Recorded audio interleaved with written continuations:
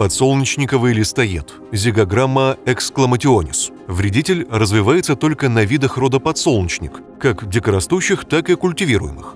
Имеются единичные указания на нахождение вредителя на некоторых видах дикорастущей амброзии, например, на амброзии войлочной.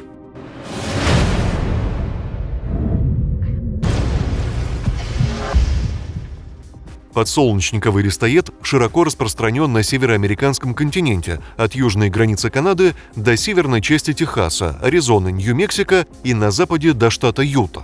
Высокая численность и вредоносность жука проявляется в северной части США в штатах Северная и Южная Дакота, Миннесота, а также на юге Канады в провинции Манитоба. На территории как нашей страны, так и Европы данный вредитель на настоящий момент отсутствует – вот, хотя имеется одно неподтвержденное указание на его нахождение на территории Пакистана.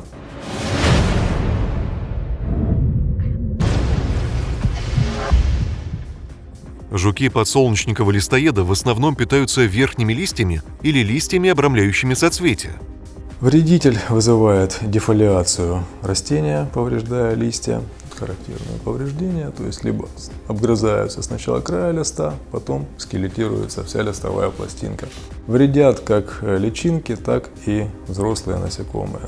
Порог вредоносности обычно порядка двух жуков на молодое растение в стадии от 2 до 6 листьев, либо 10-15 личинок уже в течение всего вегетационного периода. Как раз э, для э, проросших только э, растений подсолнечника этот вредитель наиболее опасен. При дефолиации растения, даже взрослого, на 25-30% уже отмечается экономический ущерб в виде снижения урожайности, либо большей подверженности каким-либо инфекциям.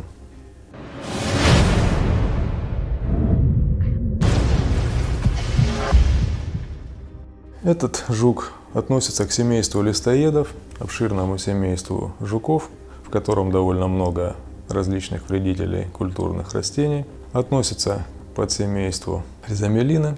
довольно характерного внешнего вида. Собственно, его название латинское «ксламатионис» происходит от очень характерного признака полосы, напоминающей восклицательный знак.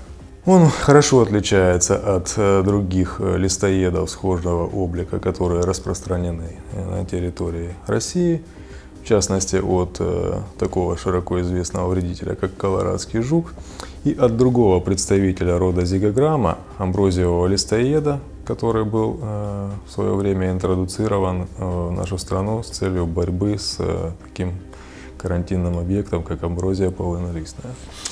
Вот он.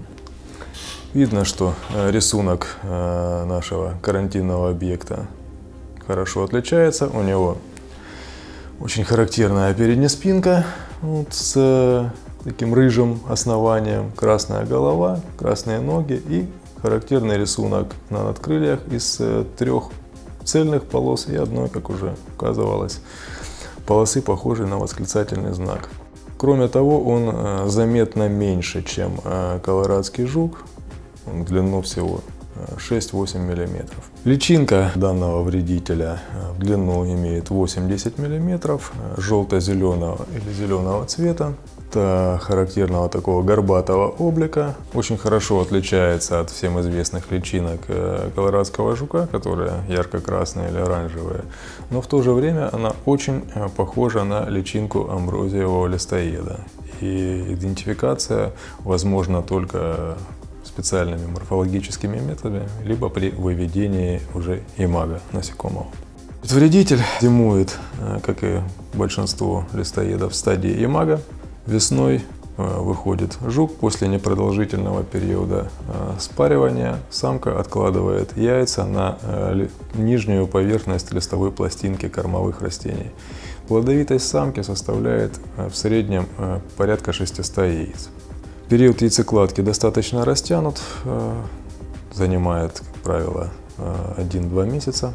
После завершения яйцекладки самка вскоре погибает.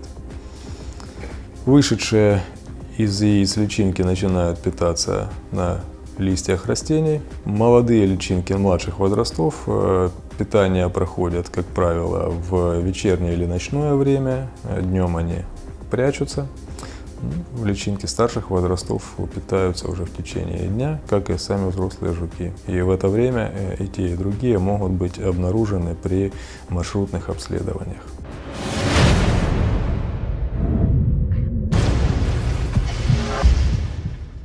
От близких видов подсолнечниковый листоед отличается характером окраски надкрылий. Крайние латеральные полоски на надкрыльях имеют общее основание с предшествующими, не доходят до середины надкрылий и заканчиваются точками, находящимися на некотором расстоянии от полосок, то есть рисунок напоминает восклицательный знак.